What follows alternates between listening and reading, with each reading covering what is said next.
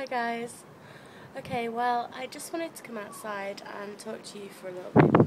It is really kind of quite wintry out here today. The wind is blowing, it's been raining, like all the leaves have kind of been blowing around, my bin's blown over, all sorts of things.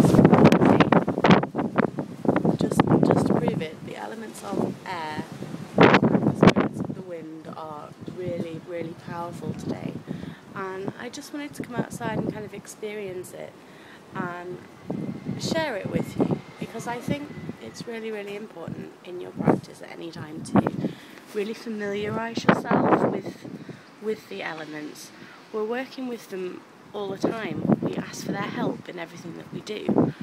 So you really need to get to know your elements and today I think is a brilliant day for getting in touch with with the element of air and with water, particularly um, where I am today. It's uh, it's definitely a very seasonal day. um, at the minute, I am feeling really connected to my path. I'm doing a lot of work at the moment, sort of just reconnecting. Um, 2011, I spent a lot of time away from my spiritual path and not really making much progress. I didn't feel, but I actually think that in hindsight, that was what I needed. It was a time of rest and recuperation, and and a time for me to work out who I am, where I want to go, what I want to do. Um, so that's kind of why I've been away from the channel, why I've been not particularly practicing very much, and it's really made me excited to almost not reinvent myself, but almost come from this from a really new, fresh perspective, um, taking into consideration everything that's gone on over the past 12 months, and looking forward to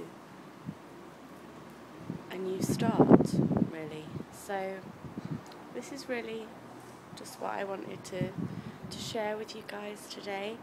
Um, if you do get an opportunity, do get outside. It's really good to get outside every single day, and that will definitely be on my 1st of January list of things I want to achieve um, in 2012 is to spend some time outside with nature, um, even if it is just standing in my backyard feeling the wind and, and the rain and you know just experiencing the power of the universe.